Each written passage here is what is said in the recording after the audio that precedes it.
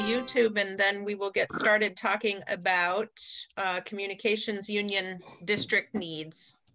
We So good morning. This is the uh, Vermont House Government Operations Committee. Uh, We are meeting this morning to go over some language that would make some adjustments um, for the benefit of communications union districts uh, who may have some uh, some challenges uh, operating remotely and uh, and conducting their business during the uh, pandemic uh, state of emergency. So welcome and thank you for being with us.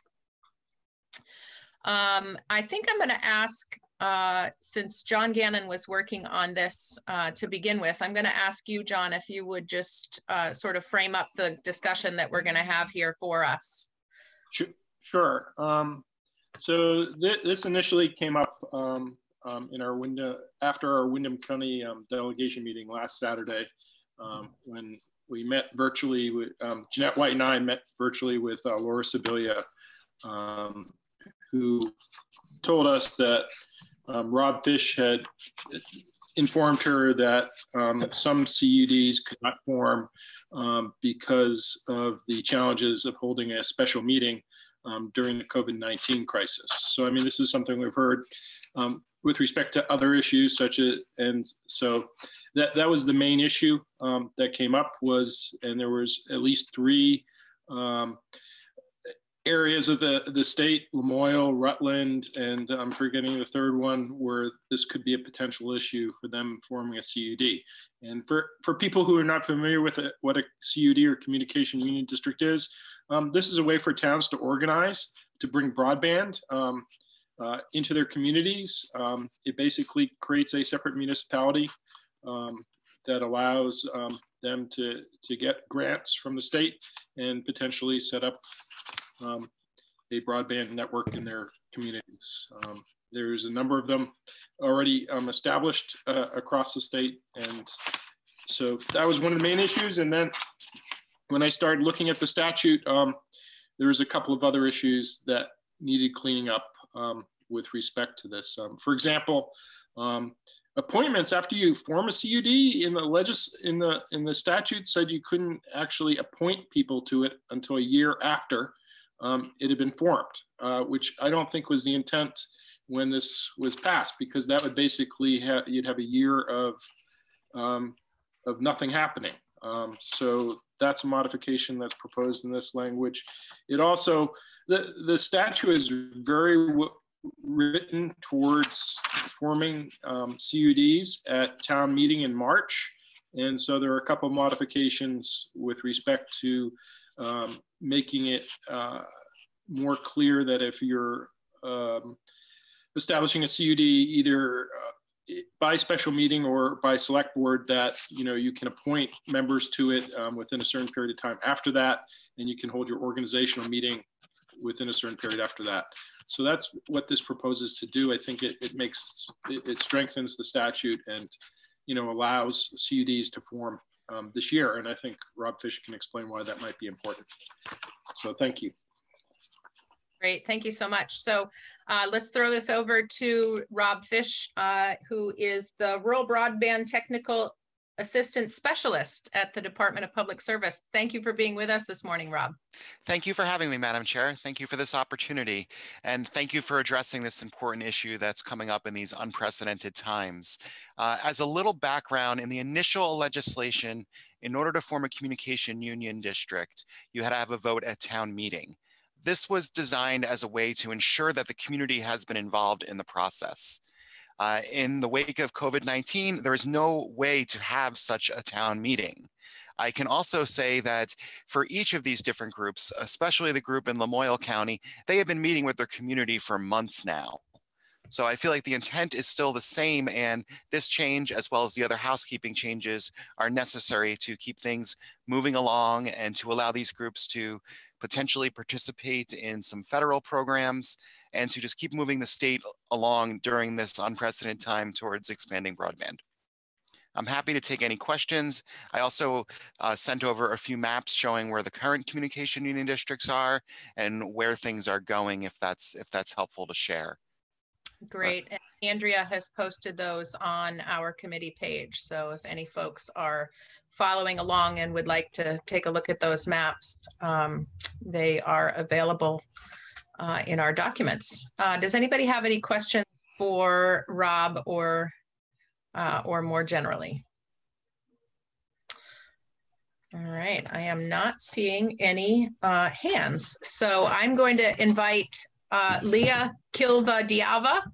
Did, how did I do? I appreciate the, um, the help um, uh, with your name pronunciation. And I understand that you are um, you are looking at some communications union districts in Lamoille County. So uh, please share your thoughts with us.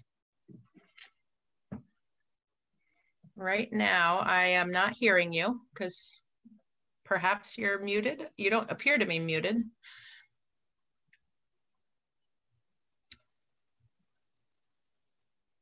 The broadband isn't the greatest up there. Can you hear me now? yes, absolutely. That sounds better. All right then. Um, technological issue, a small one. um, so thank you very much for having me today. Um, I am going to speak about the work that we have been doing in Lamoille County. And um, Madam Chair, you nailed the pronunciation of my name. Uh, my name is Leah Kilvadiova, and I work as regional planner at Lamoille County Planning Commission. Our commission serves 10 towns and five incorporated villages in Lamoille County.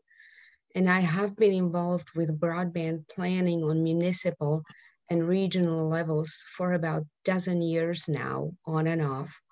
And the momentum for broadband that exists throughout the state today is amazing.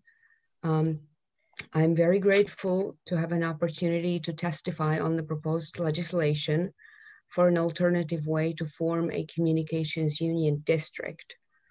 If passed, the proposed legislation will help our municipalities in pursuing the creation of a CUD. Um, additionally, as also Rob Fish had mentioned a while ago, I have confirmed with the executive directors of Addison Regional Planning Commission and Rutland, Rutland Regional Planning Commission this morning that their member municipalities could also benefit from this legislation. Um, a little bit more about our work. Um, following the enactment of Act 79, uh, LCPC has been working with Lamoille County towns to understand the opportunities that this broadband legislation provides. We spent time educating ourselves on the status of connectivity in our region. We studied examples of successful broadband deployment both in Vermont and New Hampshire and our communities held presentations and conducted broadband surveys at the recent 2020 town meeting.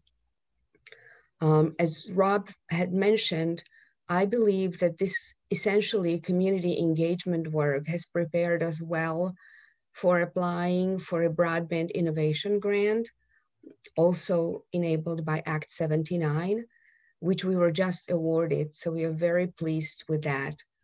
And the community engagement work prepared us very well also for approaching our select boards with a request to create a governing entity to coordinate broadband deployment in our region. Um, as holding a special town meeting is not an option at this time, and select boards would likely be hesitant to organize a public vote via Australian ballot, which is an option that exists today. However, the hesitance stems from the fact that the select boards would prefer not to expose poll workers and the general public, public to the coronavirus. Um, this proposed legislation is really the best way for our municipalities to move forward. Um, I can speak more uh, on the hesitation of uh, holding an Australian ballot and provide an example if that's going to be a question. Um, I would close by saying that our municipalities really wish to be an active player in a broadband deployment. And At our most recent meeting of our regional broadband working group, which we held as recently as last night, this desire to form a CUD was reaffirmed by our group's representatives from six Lamoille towns. Um, Bill, uh, I have a small example again from the town of Waterville, uh, providing a statement in support of my testimony, which I will read out. Um, and that statement attests to the readiness of our towns to move forward. So before I read the statement, thank you for your, for your work on this legislative proposal. It's very much appreciated. And here is a statement from Jeff Tilton from Waterville. Hi, Leah. Thanks for hosting tonight. I think the takeaway I, I got was that there is community interest in forming a Lamoille area CUD, but it is clear that it is going to take some considerable effort to gain momentum towards doing so, especially in the current climate. I'm fairly versed in the basics of CUDs and have a good feel for the Waterville community interest. I know the select board would like to see this go through as well. To that end, anything that I can do to help in the meantime, please let me know. Thank you. Thank you. That is very helpful context setting. Um, I think what would be helpful right now is if we could switch over to Tucker and have Tucker um, take us through the language so that we can see uh, exactly what it is uh, we are looking at for language. And then I would love to hear from um, Karen or Gwen. Um, I think we have Karen with us and, um, and, and hear the perspective of the League of Cities and Towns. So Tucker, take it away. Absolutely. Uh, so the bill you have before you has three operative provisions. One is a temporary provision, and the other two are permanent amendments to statute. I will start in section one, which is a temporary provision uh, governing the uh, entry into a communications union district um, during the COVID 19 response. This section states that notwithstanding the provisions of Title 30 that govern the formation of a communications union district, that requires a vote by the eligible voters at an annual or special meeting uh, during the declared state of emergency due to COVID 19, that the legislative body of a municipality may vote to enter into a communications union district under the provisions of 30 VSA Chapter 82. That is the chapter that governs communications union districts. The one piece that I will uh, note here, um, I did not uh, draft this bill, um, and Maria Royle, who did draft the bill, may be able to help you further with this. Um, one question that I have is whether this needs to be clarified that the communications union district can be formed in this manner. It states expressly that the legislative body may vote to enter into a communications union district. And the way that that section uh, 3051 is constructed, there is a difference between authority to form the district and to enter the district. Formation of the district requires a simultaneous vote by two or more municipalities. Um, so I will put that note in there for you. Thank you. Section two is an amendment to statute. Uh, this will be a permanent change and Representative Gannon noted it earlier.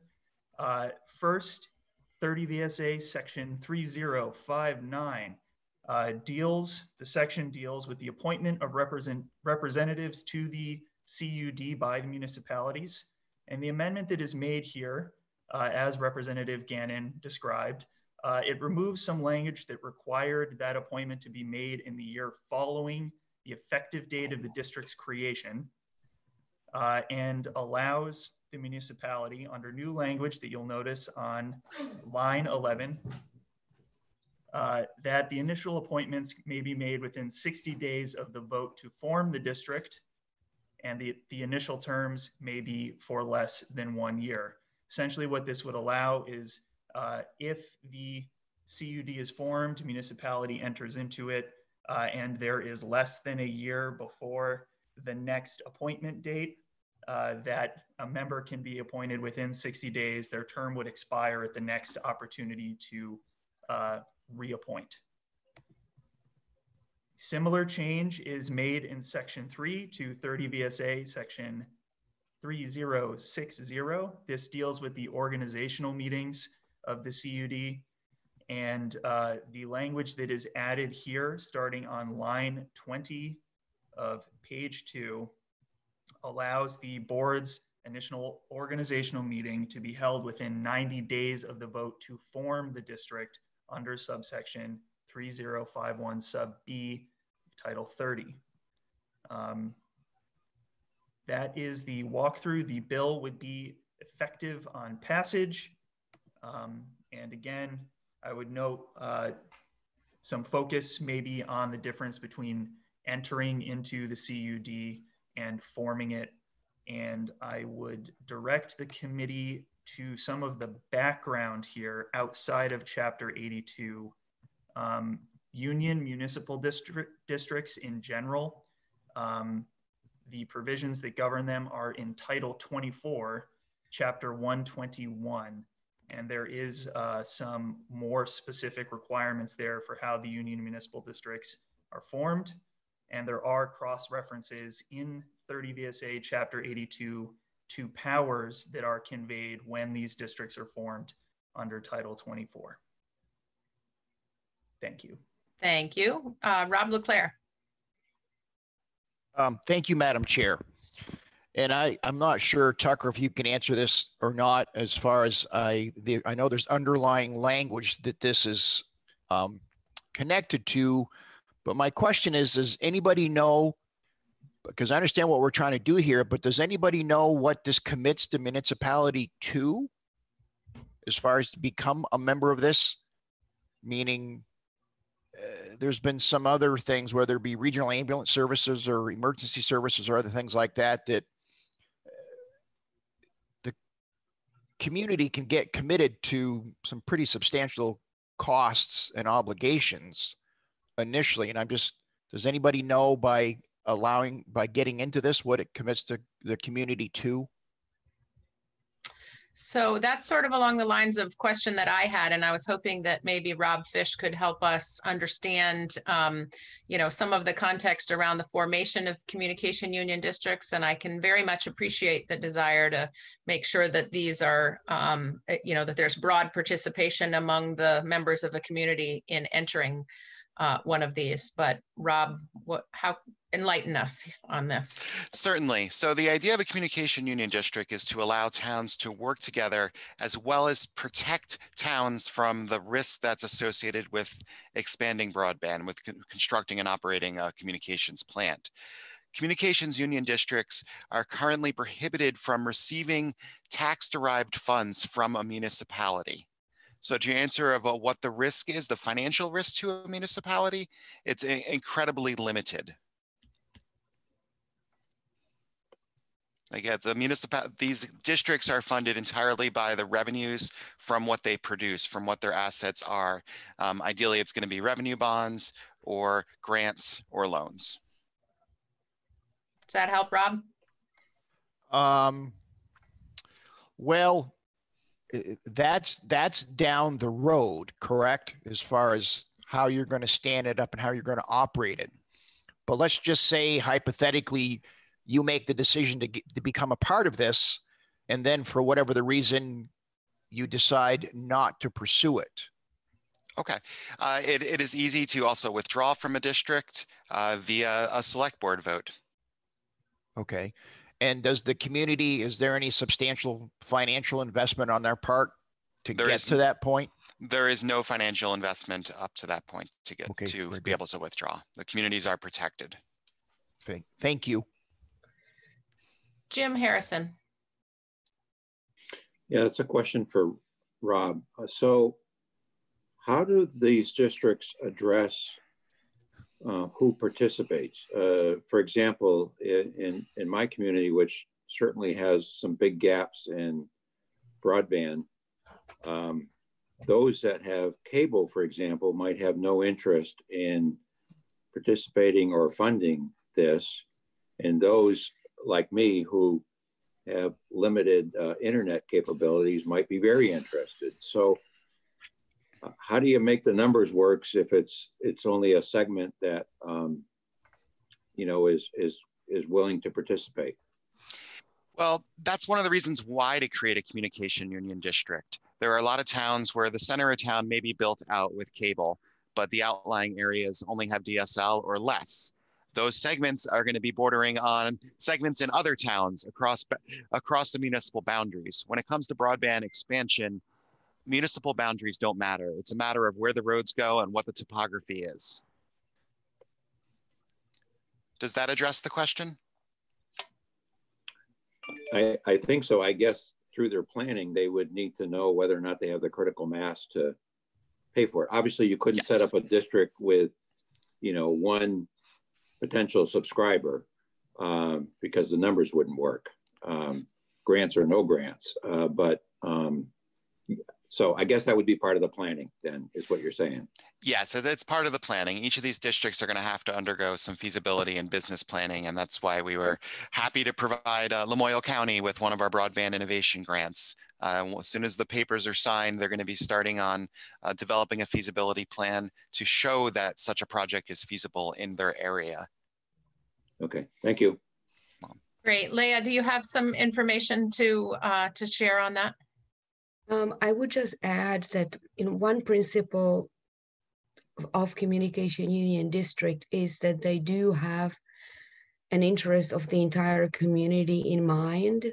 And so the approach towards a potential build out is from um, is to focus on areas that are underserved or unserved right now. And that would be defined as not having a connection with the speed of of 25 over 3 megabits per second.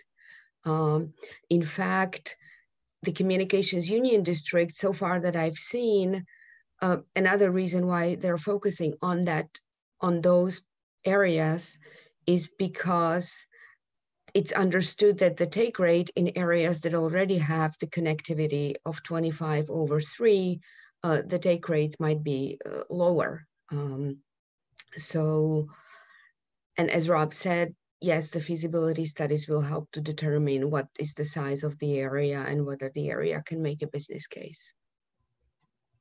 Great. Committee, any other questions for any of the witnesses we have heard from so far?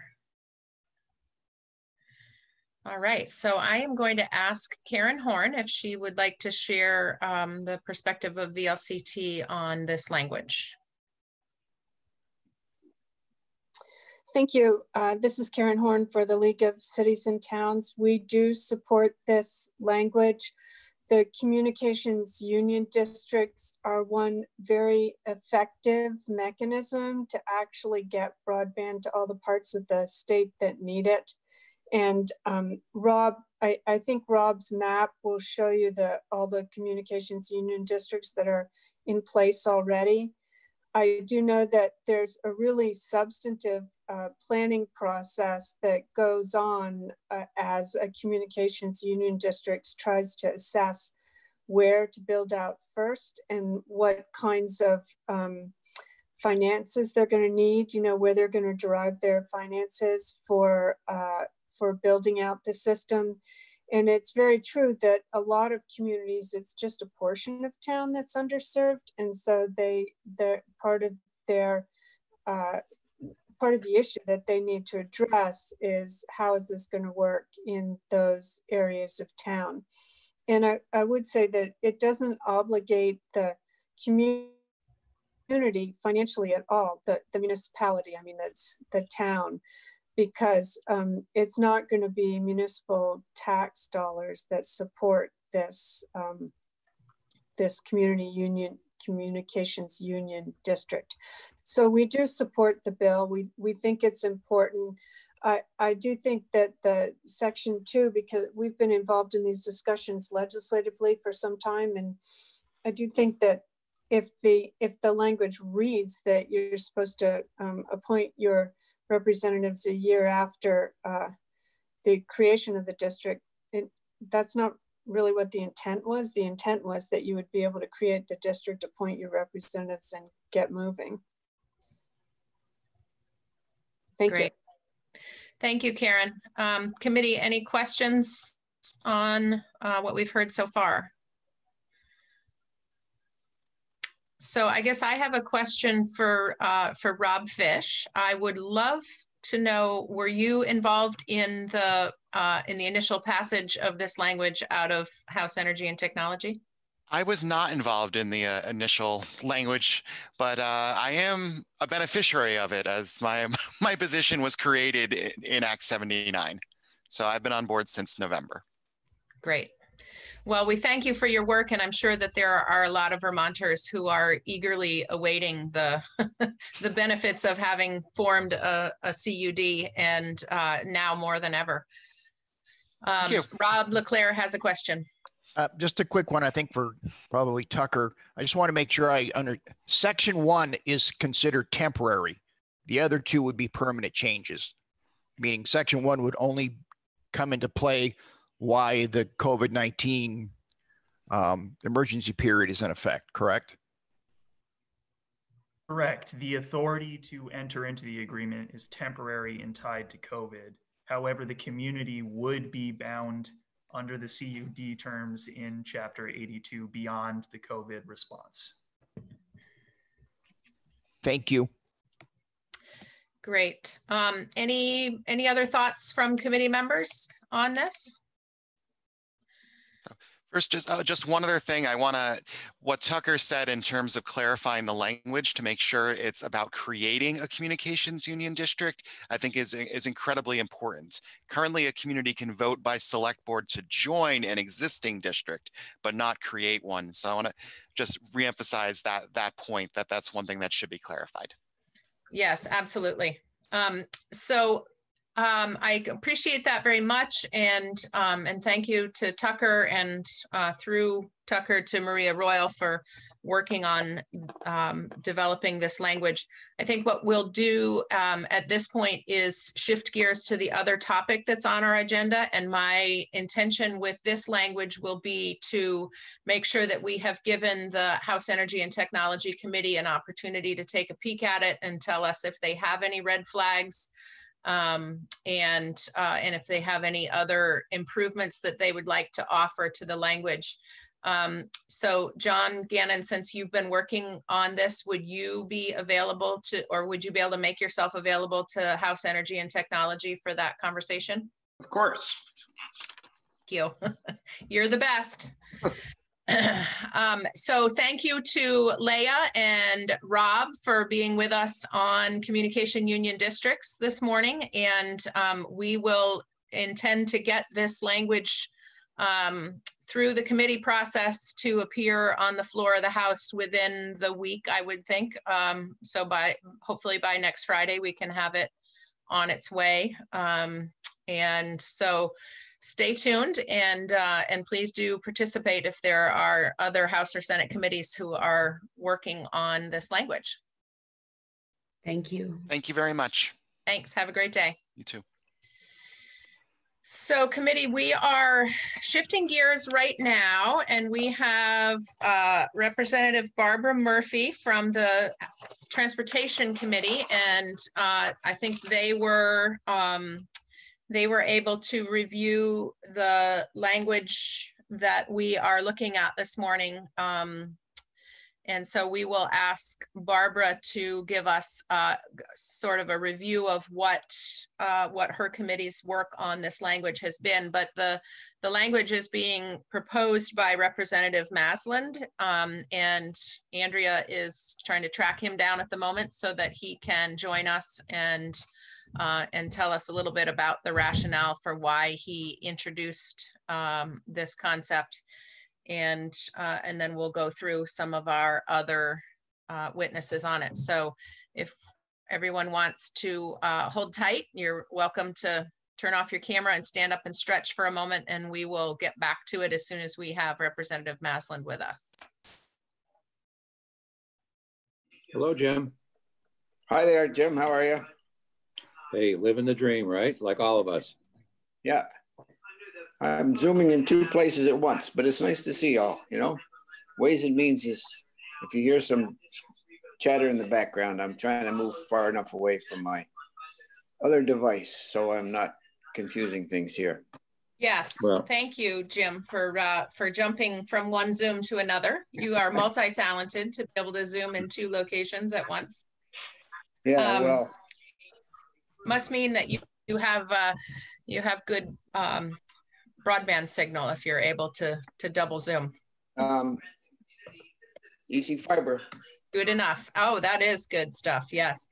Um, oh. So we are just beginning our uh, our deliberation on the proposal that you are making around the use of town general and highway funds. And so I wanted to yep. give you the first word on this, and then sure. we will hear from the uh, the Transportation Committee on their consideration of it and yep. also Legislative Council. So go right ahead and tell us what this is about.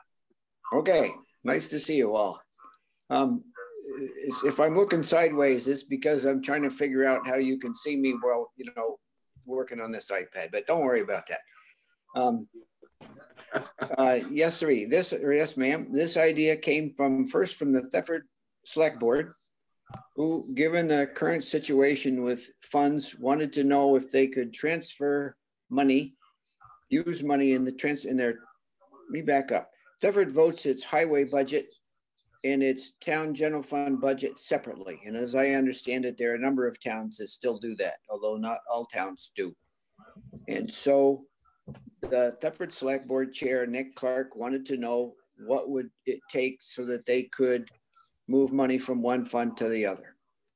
And I originally asked Ledge Council to um, propose an amendment that would delete section uh, 312 from Title 19, which is highway funding, and Anthea um, wrote me back that if we were to do that, we would have to notwithstand some other parts of Title 19. And so I elected talking with Kurt, or maybe was emailing Kurt and um, and several other people to try to craft a narrow bill that would be good for this this year to enable some you could say joint use of funds or moving from transportation to general and back and forth um, and not try to tackle this year um, getting rid of Section 312 altogether. And as I learned, not surprisingly, in House Transportation earlier this morning, um, there are kind of crazy things here and there throughout the statutes and in some municipalities, as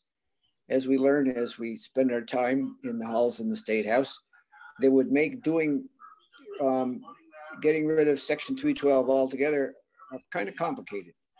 Um, I think it was Barbara, no, it was Patty, um, who pointed out that in Bolt, Poultney, they have a town and a village. They vote their budget separately in those categories. And I was not interested in running afoul of town traditions or making the amendment so complicated that the whole thing would fall apart given the circumstances that we find ourselves in this year. So hence the fairly narrowly crafted um, amendment, which would enable towns to use town raised tax money only that is raised in the town for the town general fund and the town highway fund to move them um, as they would need to balance budgets. And um, as, as um, Representative Murphy may describe, um, um, uh, VLCT would be interested in scrapping Section 312 altogether, but there are a number of things that would have to happen before we got to that point in time, which was not my intent for this year. So there we have it. Madam Chair, that's the whole soup to nuts, I think. Excellent. Uh, Mike Mrowicki has a question. Well, I, I just, I was having trouble following because there was a lot of background noise there. Um, oh. Let me move. Let me move further away from the other Zoom meeting. Okay, so I think that um, Mike, did you want to eh, did you want to ask Jim to repeat what he said to us, or are you just letting us know that it's not an easy? If he was going to continue, I would ask for. If he was going to continue, I would ask for something different. But if he's done, then let's. Okay. I, Great. I can ask any question, answer questions at an appropriate time. Great. Thank you, Jim. Um, does anyone have questions for Jim on the rationale for, for what he is proposing here? Okay, I think what would be super helpful is to look at the, the words of this um, narrowly crafted uh, amendment concept. And uh, I don't know if Anthea or Tucker want to jump in on, uh, on sharing with us what the effect of this is. All right. Anthea gets the, quick draw. Either that or you and Tucker had already uh, negotiated who was going to work with us on this. Thank you, Anthea. You're welcome. So for the record, Anthea Dexter Cooper, Office of Legislative Counsel. Um, I already ran through this for House Transportation this morning. Uh, so I, I think I'll, I'll start off and Tucker can chime in with all of the unique quirks that municipalities have if uh, that is something that the, the committee is interested in hearing more about. I'm sure um, it is. so, um, Andrea, I don't know if you could put that up or give me sharing abilities. I think it is posted to the committee page. All right, you're co-host. Great.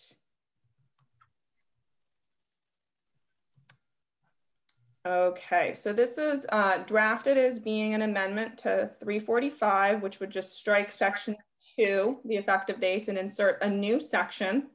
Um, the lead-in language is very similar to language that this committee has seen in terms of some of the other temporary municipal powers you've created, except we're adding in a specific call out to notwithstand 19 VSA section 312, which is um, a statute that if you look at the, you know how in um, online it says at the end of the statutes when it was added, it makes it seem like the statute 19 VSA section 312 was added in 1986. Tucker and I have done some digging and we think that this statute was most definitely not added in 1986, but rather that's when Title 19 was recodified. And that this statute, which talks about town highway taxes, is probably um, a relic of the way that revenue used to be raised by towns. But as I learned this morning, listening to some of the members of House Transportation uh, talk about their different municipalities, it seems like there is um, a number of different ways that municipalities talk about their town highway taxes. So 19 VSA section 312 is the piece that we know we need to notwithstand. Uh, subdivisions one and two are laying out what municipalities can do for this temporary period due to COVID-19.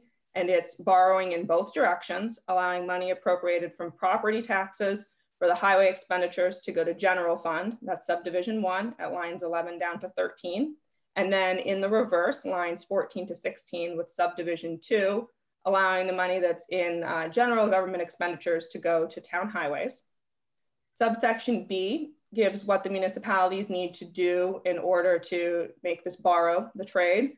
Um, this language is just like language you've seen um, in, I wanna say it's S344. It requires a majority vote of the legislative body and the power expires on January 1, 2021. And then just to be safe in subsection C, we are clarifying once again that it really is just the town highway budget that's raised from property taxes and saying that it is not any state aid for town highways that's distributed under 19 VSA section 306. So that's the town highway aid that's done by miles along with um, the town highway bridges and the town highway structures grants. So we're saying in subsection A, it only applies to the municipal property tax money. And then we're saying in subsection B, and it doesn't apply to this other pot of money. We're saying in subsection D, that this section does not alleviate the municipality of any matching obligations that they have if they have federal or state money that they're matching with local funds. Subsection uh, E explains how this is just a borrow and that any of the money that is borrowed under this section needs to be paid back no later than December 31st of 2021, so giving them a year, and it's at a rate that the legislative body of the municipality shall determine. And then since we have struck out section two of 345 with this amendment, we're adding it in as section three and saying that the entire act shall take effect on passage. Great. Thank you much. Um, committee members, any questions for Anthea on the words on the page? All right, Mike, you've got your hand up. Right.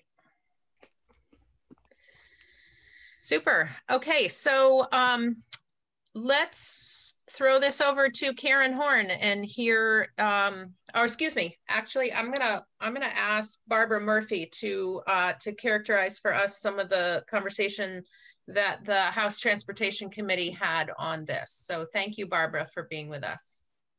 Thank you. For the record, Representative Barbara Murphy from Fairfax, Vice Chair of House Transportation. And we were very pleased this morning to hear from Representative Masland um, the, the rationale for requesting this amendment. When we hear that people want to play with highway funds, we get a little concerned. so it's good to know what the rationale is. And it truly is something that's hopefully going to help some of the small towns be able to um, use flexibility in the funds they do have to meet their obligations. And we appreciate all of the brackets on it that would have these funds be paid back to their proper accounting line and make everything whole. Um, the committee did take a straw poll vote on, on the amendment and supported it 11-0-0. Great. Thank you very much. Karen Horn.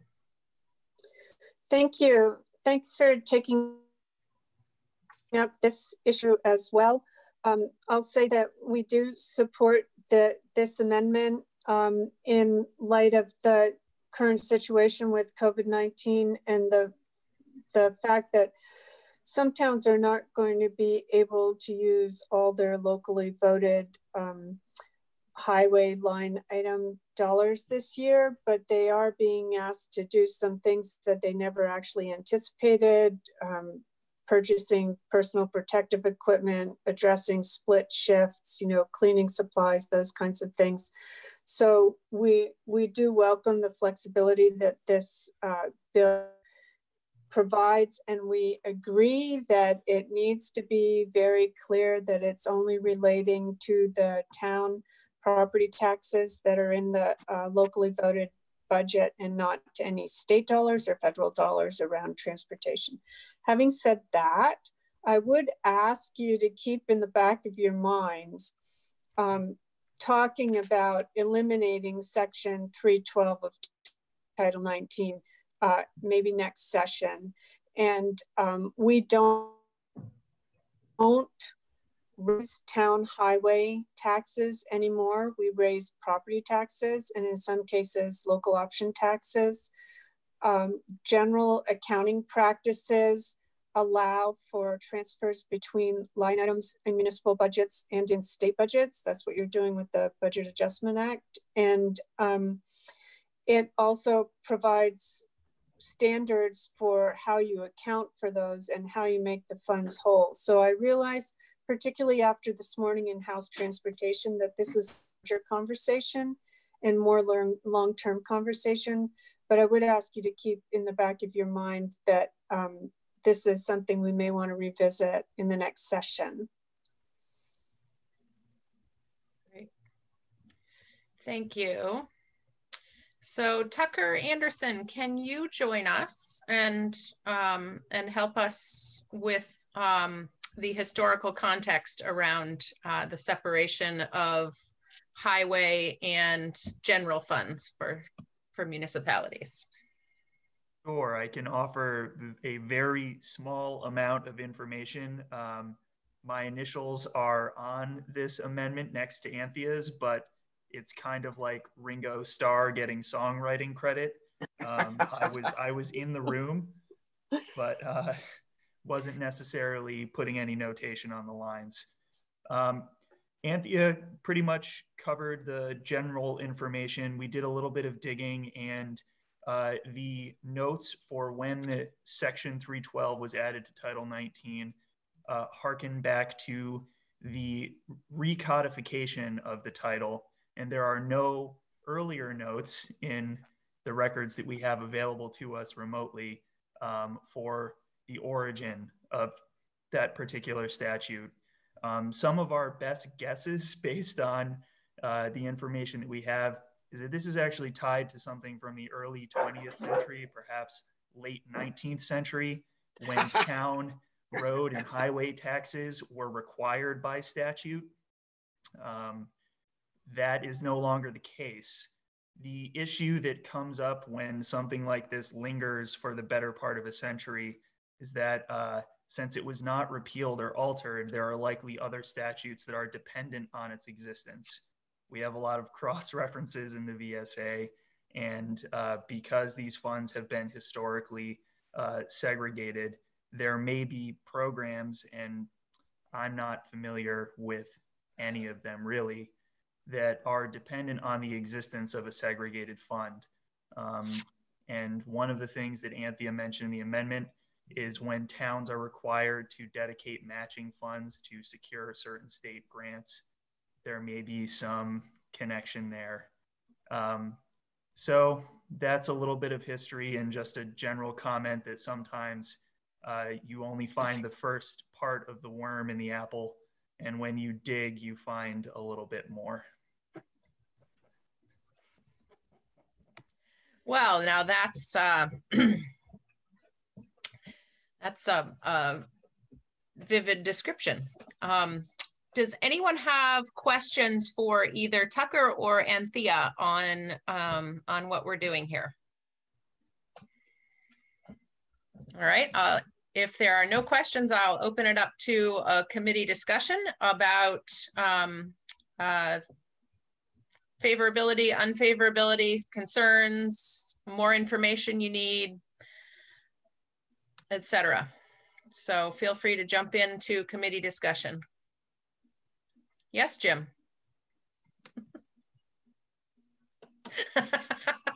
oh, wait, sorry. You didn't have your hand up. Jim Harrison always has his hand up first. So um, I'm just conditioned to, uh, to call on him.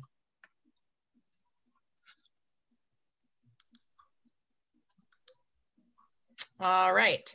Um, can anyone enlighten me as to the, um, on the agenda, this says S345. I'm not remembering what that is. John. Thank you. So um, S345 is a very um, short bill um, which changes the notice requirements um, for warning meetings um, and allows um, that instead of having to notice meetings in two physical locations within a, a municipality, um, two electronic notifications um, can be, be utilized instead, and that the municipal body um, sh should post a notice in or near clerk's office and also provide a copy of the notice to um, the general circulation newspaper. Okay. so it's all about notice this is something that we took testimony on um, probably more than a week ago. Yes. Good, good. All right, and what is the status of, of 345 at this moment? Is that a is that a new committee bill that the Senate sent over to us that they created post-COVID, or did they strip some language from another bill? Where is it in the process? It passed the Senate. Okay, great.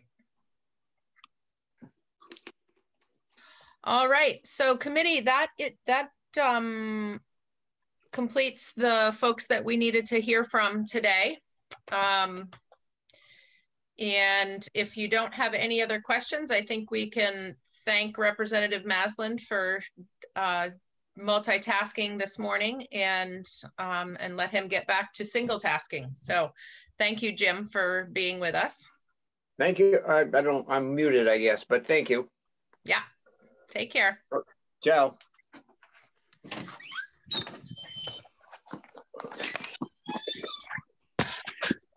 All right. I think we'll remute him. There we go. Good deal. Okay. Um, so uh, Tucker, where did you go? There's Tucker. Hi. So Tucker, um, is there a concern about this being germane to provisions of S345? I do not have enough guidance on uh, the parliamentary basis for a germaneness challenge being upheld. Um, and from what I understand, whether or not an amendment is germane is a question for the body as a whole to determine and is not a question that is readily answered prior to the body assembling for that question. Okay then, committee, do you have any concerns about that? I'm I'm thinking that because these are all COVID response um, amendments that we're making to statute, that uh, that nobody's going to call foul on it. Jim. Yeah, I mean, I guess if you wanted to feel more comfortable, you know, Bill MaGill is usually about giving you a heads up whether he would see it as germane or not germane. Uh, and obviously it's germane until someone asks. Right, so. it's assumed to be. So right. if we don't have any red flags, then that's, uh, then that's a good sign. Um, John Gannon? Thank you. Um, so, you know, originally the, the idea with the CUD language was to make it part of um, H948. Um, and I know um, Representative McCoy raised a, a germaneness issue with respect to doing that. And that's why I think we left it as a separate bill. So in our current environment, um, making sure the rules committee is, is fine with adding this to 345 um, and allowing it to move forward, it might be good to check in with them. I can appreciate that because um, nothing bums me out more than having um, having something crash and burn on the floor and crashing and burning on the Zoom floor is probably even worse. Um, Rob LaClair. Well, I was just going to say, in light of the dance we had to do on 948, anything we can do to alleviate that would be very, I think, wise indeed. All right. Well, let's uh, let's give this a little bit of time to work its way through that process. We'll have some um, some conversations offline about it, and um, I will be in touch uh, with committee members about when we want to come back together to take an official action on this. Um, any other questions, thoughts, concerns, perspectives you think you'd like to hear on this?